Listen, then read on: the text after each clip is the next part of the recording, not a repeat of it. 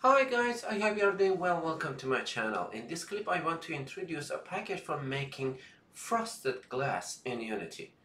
Okay, let's take a look at this package over here.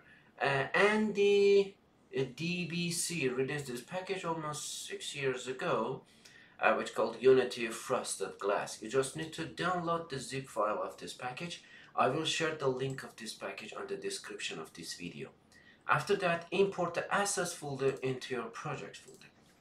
Okay, I already imported it and it has demo folder, frosted glass and post-process effect. make sure you need to have post-process um, uh, effect on your computer, on your project, sorry. Uh, you should uh, use it by and added by package manager and after that we should come over here into the demo scene okay look at this. It is really beautiful. Now it's it has a shape and in fact it is hourglass and only thing is just this shader affects frosted glass. And in here we can change the frost intensity.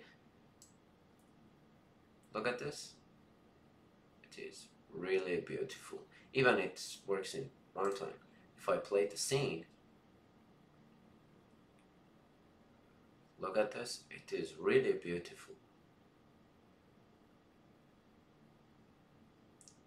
even you can change in runtime uh, change the texture of this frosted glass.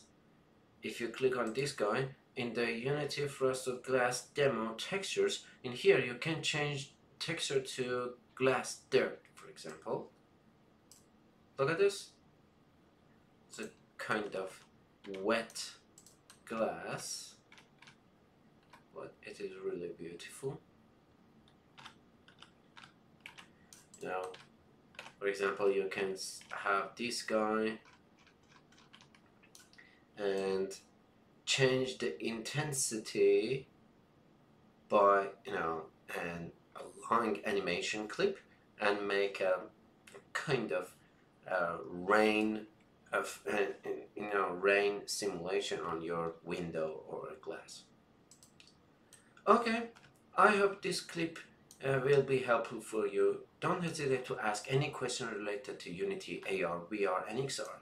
Subscribe my channel and like this video if you like it. Have a great time. Bye bye.